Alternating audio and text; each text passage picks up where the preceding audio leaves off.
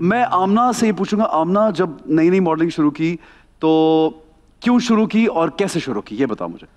Um, क्यों शुरू की? एक मिनट एक मिनट। क्या ये सोचा था कि मैं बहुत टॉल हूँ और मैं बड़ी प्रिटी हूँ और मेरी पिक्चर्स बड़ी अच्छी आती तो मैं मॉडलिंग नहीं नहीं नहीं नहीं नहीं। एज अ चाइल्ड ऑल्सो मैं आप लोगों को बताती चलूँ कि मैं I always been very over critical of my looks and I always use to think that I am a very average looking girl in my school time and my college time but school time में मैंने modelling शुरू कर दी थी when I was in my average looking है? जरा मतलब, चेहरा देखो uh, हसीन लड़की। कॉन्फिडेंस आ गया वक्त के साथ साथ. I think more than your looks I think the confidence is that matters but your your thank you features are beautiful I know that but as a child I am telling Yeah, you okay, मेरे एक okay. एक एक वो थी एक होती, insecurity थी ज़्यादा शायद grooming नहीं होती, मेरे ख्याल मुझे लगता हाँ, है। तो एक इनसिक्योरिटी थी कि maybe I am not that good looking Okay. So what happened was that my elder sisters used to do modelling Salma Ilyas Yeah, and Usma yeah, yeah, I Ilyas know. I am sure you know them जाले ने भी शायद काम किया Gorgeous women. Yeah, yeah, yeah, yeah. and come from a they're still line of gorgeous, gorgeous by the way. women. They're still thin and they're still like not that thin is the standard, but they're still very good looking. Wow. They have kids now. They moved on in life. Okay. They got married, settled down.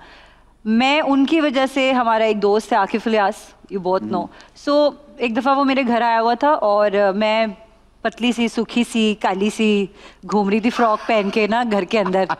तो खुद ही अपने आप को कह रही पतली सूखी काली ये कोई और बोल दे इसको। तो, तो फिर ये उसका तो ऐसा ये- ऐसा मारेगी उसको खुद क्या कह रही अपने आप को? भाई अच्छा, खुद कहना इज़ ओके ठीक है, हाँ, course, of सो. घूम रही थी एंड ही सेड कि मुझे ना इसके साथ शूट करना है। And I was very hesitant of that at the time because मुझे uh, मैं मैं चाहती थी कि मैं यू नो अकाउंटेंट बनूं और मैंने उसमें ही फिर अपनी ग्रेजुएशन वगैरह भी की लेकिन ये था कि uh, उसने मेरी आकिफ ने मेरी कुछ तस्वीरें खींची and in those pictures I still remember I was in my eighth और ninth standard and I was looking like Zara Sheikh in those pictures. Okay. I, I'll show you guys someday. Okay. But I was I, so Zara Sheikh. I think is very photogenic, and, And she's, she's- she's she's gorgeous. gorgeous. She's She looks gorgeous. gorgeous she in her, does. yeah, yeah. And I got these compliments. And the first shoot, or first or the second shoot that I did, it came on the cover of a magazine called She.